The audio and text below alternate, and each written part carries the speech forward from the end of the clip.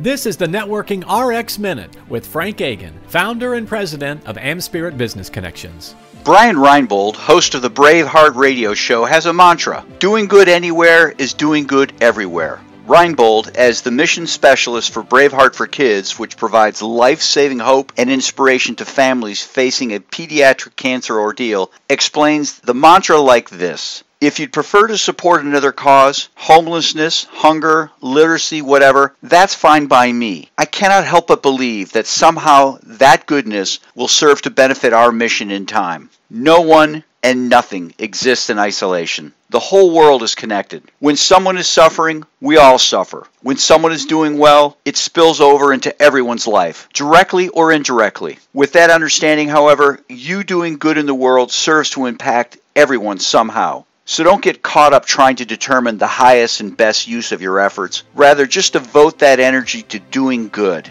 anywhere. That serves to do good everywhere. Need an insightful, entertaining, and motivating speaker, keynote, trainer, or presenter? Let's talk. Contact Frank Agin via frankagin.com.